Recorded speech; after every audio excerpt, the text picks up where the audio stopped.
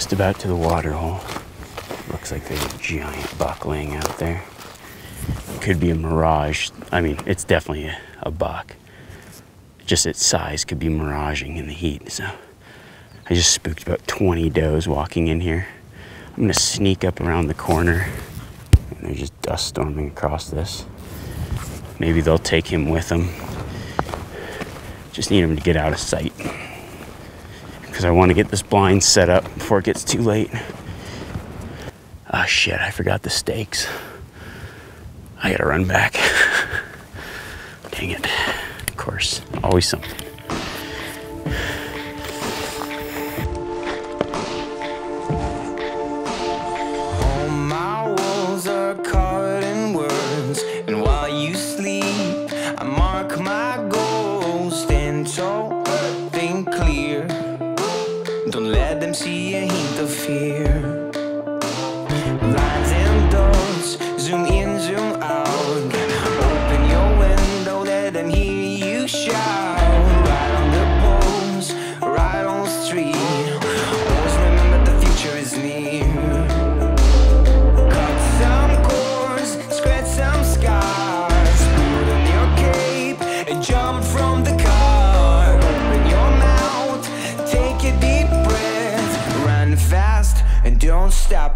Checking my cameras, there's one covered in bird crap.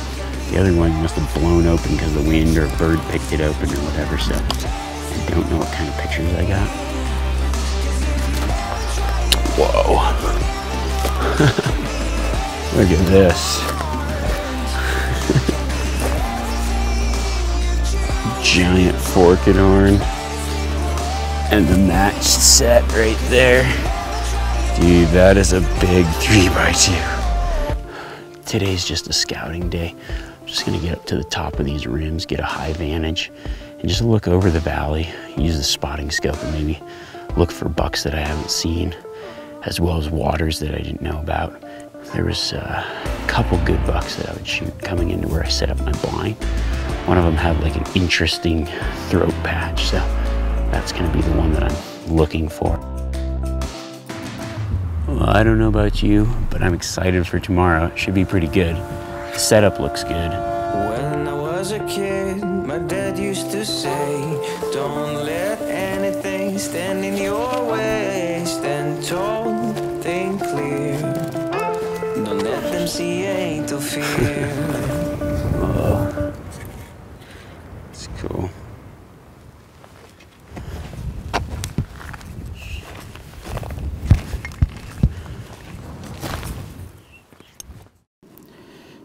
so cool being able to come out here and just park wherever and throw out a table and make camp.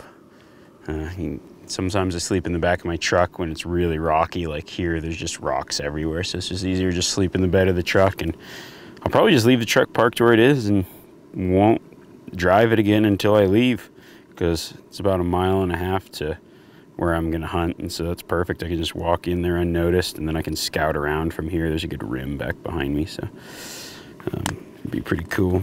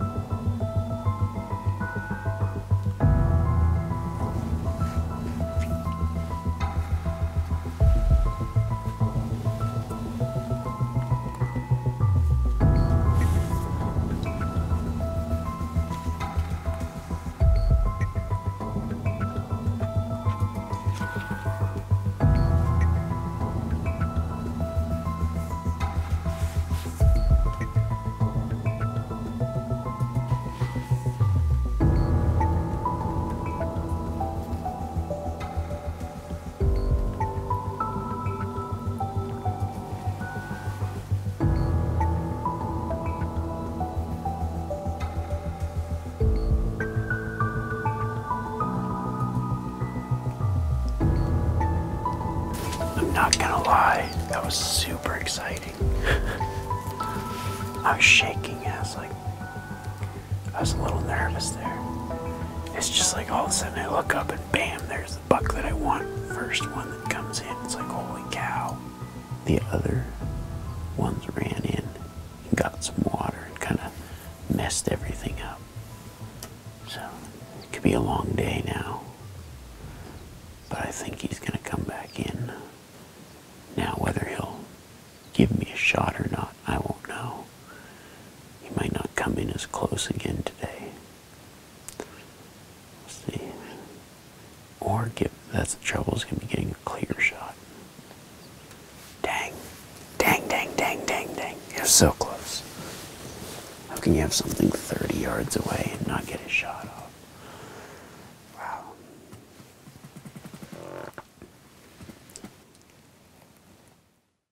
For me to switch, I have to have a reason for it, not just because something new came out. I shot Hoyt for 19 years. It wasn't going to be a bow I could trust this year. I mean, I shot all the different bow brands. I shot Mathews, I shot Elite, went through the whole list, and, and Prime stuck out to me. Draw this one back, it's just there. You're not waiting for the wobble to come out of your hand. I drew it back and let it rip, and I was like, dang, order me one.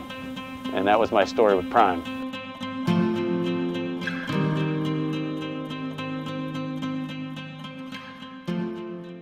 As stealthy as that buck came in. There's no telling when I've had this side down what could have came in and drank and left without me noticing. I mean, I just looked up and he was right there. Man, such a mentally taxing game sitting here all day. It's like I want to be doing something, but I think this is my best option. If you know me or watch solo hunters or know what I'm about, sitting is not my forte. And it's just that I'm bad at it. It's not because it's easy, it's actually the exact opposite. It's, it's harder for me to sit and shoot something. Dang it.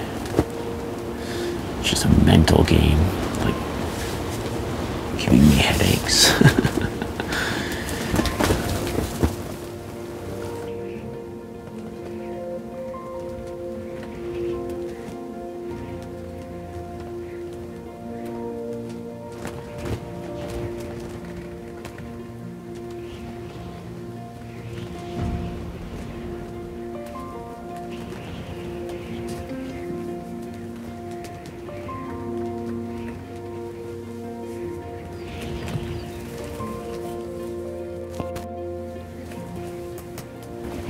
picking up. It took about an hour for this doe and fawn to actually come water. I don't think they like the shaking of the blind. I'm hoping that that group with the big buck doesn't come back until a little bit later. It's getting hot in this thing. Got my little cooler and I'm just dipping this in the ice. Planned ahead because I knew it was gonna get cooking in this thing. Unfortunately the wind, like I could get the cross breeze, but it's blowing the direction the antelope are probably gonna come from, so. So just uh, stay cool. Take a peek out here. The breeze does feel nice though.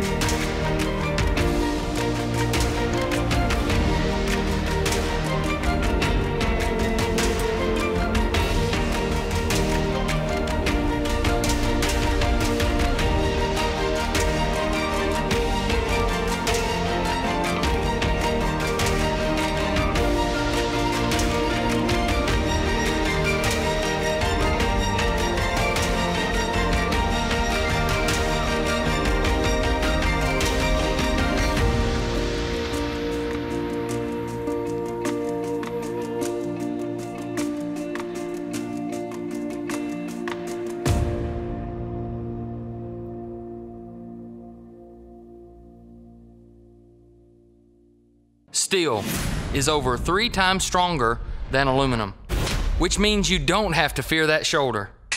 Bam! Stronger and better penetration. So, what does that really mean?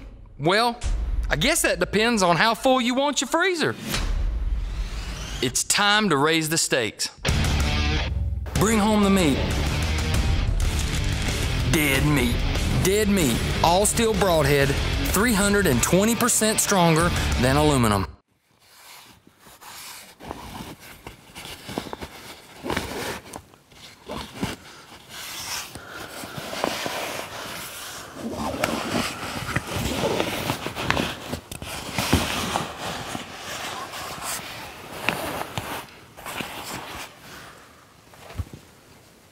Right.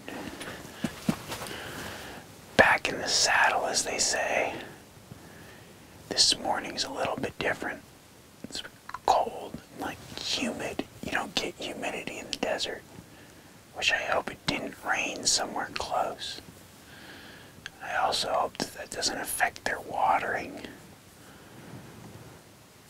It's about shooting time now. Just a waiting game now. I just really hope that that buck comes in and gives me a shot. It's cold this morning. I'm gonna throw the other sweatshirt on while I wait. I've got a buck and some does bedded just past the water hole out in the open.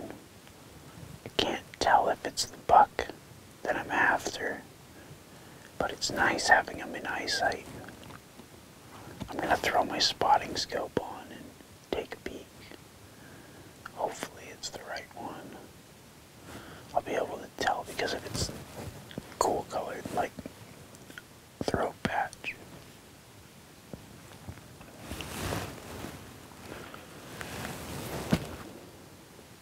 Oh, yeah, there's more antelope bedded out there. To the right.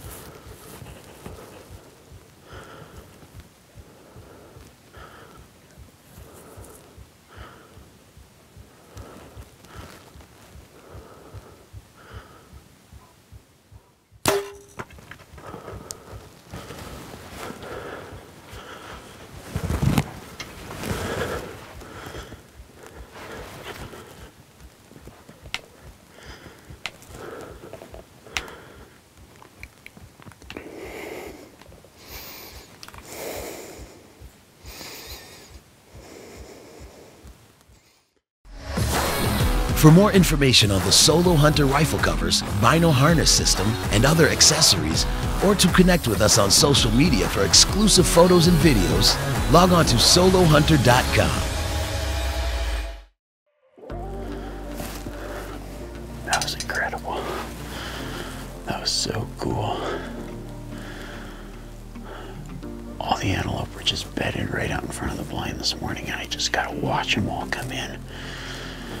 Bunch of does watered first, and he was drinking, and he was just drinking so long and so steady. I decided I'm to put it just above his shoulder because I could see where his shoulder blade was.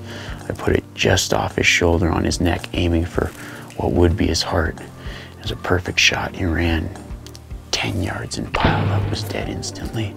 It was a perfect shot.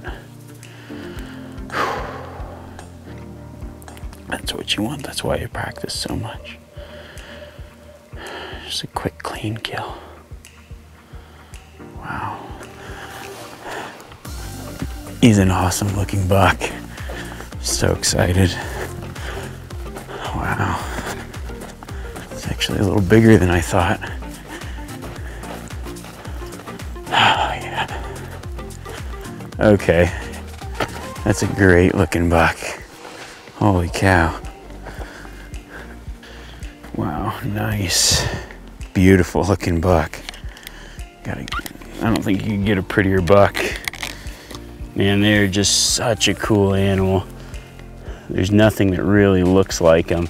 And they're just so unique. They shed their horns, which is one of the only animals that does that. And then they just live in terrain that other animals don't live in. And they use their really good eyesight to spot for danger and essentially live out in the open. And then they're just so fast.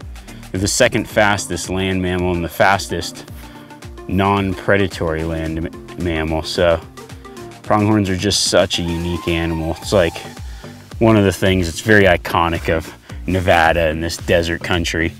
To have the opportunity to hunt these is just pretty incredible.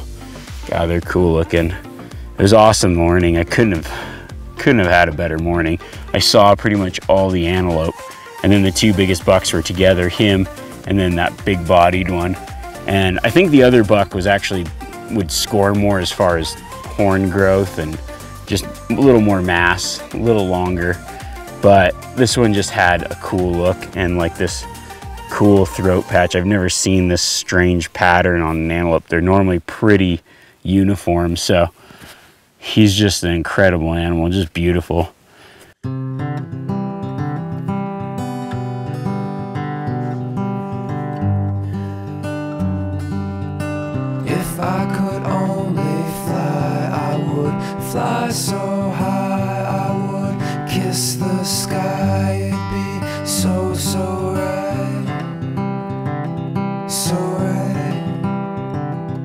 So right. If I could only fly, I would fly so high, I would kiss the sky. It'd be so, so right. So right, so right.